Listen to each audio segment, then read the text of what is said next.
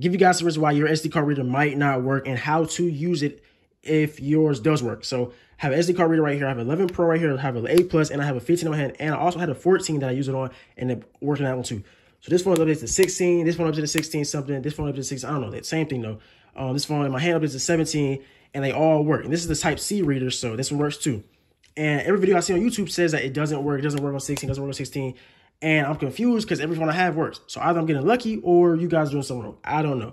But I'm thinking what's happening with y'all is you have old readers that were made for an iPhone X or iPhone 8 Plus when they first came out. So what happens is every reader and every cord has software in it, right? Sometimes software. So if it was made when the iPhone 8 Plus came out, it was made for this update. So then once the iPhone start updating more and more, it's not going to be compatible. So I suggest go update, go buy a new um SD card reader, and it should work. I like I'm not getting lucky, y'all. I have it's too many iPhones here.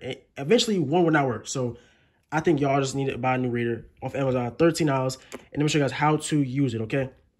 Also, wait a second. The SD cards do not matter. These are all cheap SD cards. I have an expensive one too that I tried and it also works. That I use for my camera, okay? So let me show you how to do it. So you go to the Files app. You, you gotta have Files app downloaded. I don't know any other app that works with it yet, but I know Files works in Files. It's very low storage, so you should be able to download it.